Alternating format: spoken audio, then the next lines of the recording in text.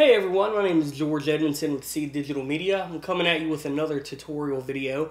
This one was um, kind of requested by a guy in a Final Cut Pro X user group that I'm uh, I know him just through Facebook and all that kind of stuff. Um, and basically what he wants to do is have the scrolling credits at the end of a film, but he wants the company logo to be scrolling along with the credits. Now there are multiple ways you can do this. You can manually keyframe um, along with the uh, pre-built, you know, scrolling text animation. Just keyframe it and do that. Um, or there's the way that I'm going to show you, which is really, really simple. And anyone can do it, even if you're on iMovie, Final Cut X, any any of those uh, programs, you should be able to do this. All you need is an image editor and um, be able to you know export and control the output resolution you should be good to go. I'm going to be using idraw so let's jump in.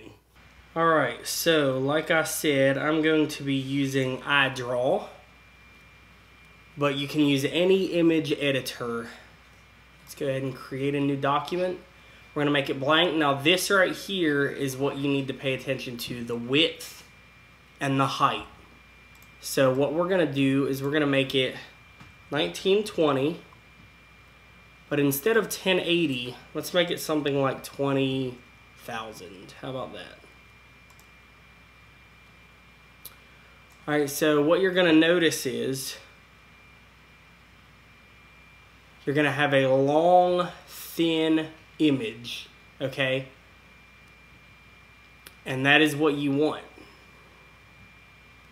So all in this area are going to be where your text for your credits are. Oh, come back. So let's just start with some credits. We've got that centered. We're just going to make some stuff up.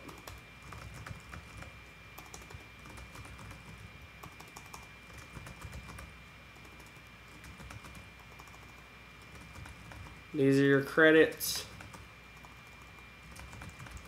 I'm doing this really fast because I've got a bunch of projects I'm working on right now. Just making some stuff up, whatever, whatever. And then let's add a logo in there. And he is wanting the logo to scroll along with the text. So we're just going to add my logo.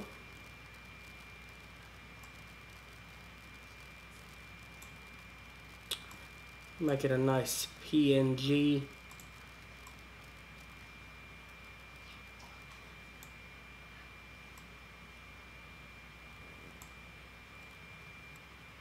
Why not? How's that look? Alright. And let's keep adding some text. So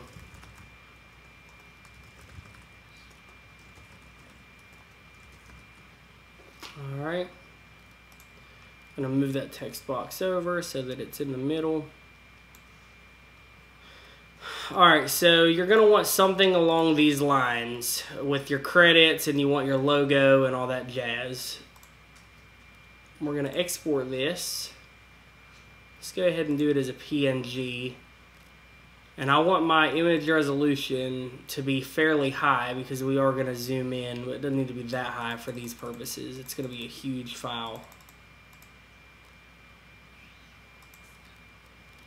Let's just save that as credit test.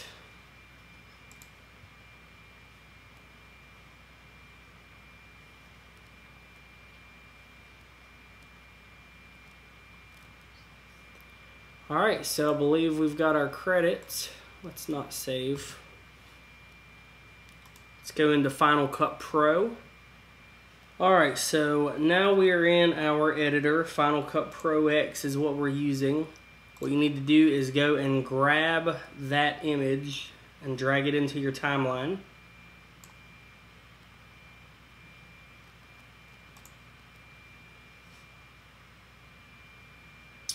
You're going to notice we can't see anything because we don't have a background. So let's let's add us a background really quickly just so we can see it. Just do pastel. That's pretty.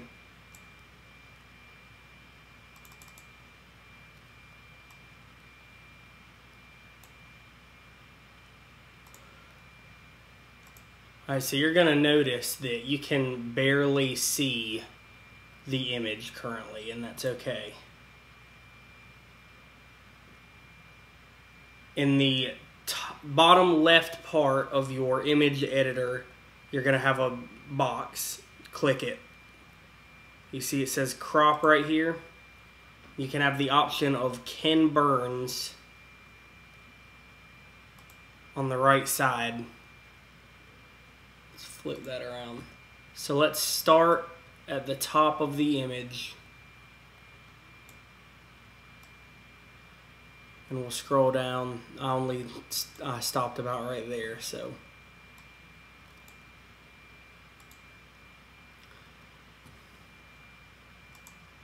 And you're to notice, let it work for a second. And there you have it. There are your credits. Scrolling quickly. There's your logo scrolling along with it. So that was a really, really fast, simple way to do what he is looking for. You want to create your credits in a long, tall, skinny, uh, high resolution image. Go ahead and type all your credits out put the logos in, put a background in if you want, um, and you know, there you go. It's going to scroll along with it using the Ken Burns effect. Again, I know that there are a million ways to do this. You can motion track, you can all, you can keyframe. I mean, there are a million ways to do this, but this is a very very simple and fairly quick way to get that done with your logos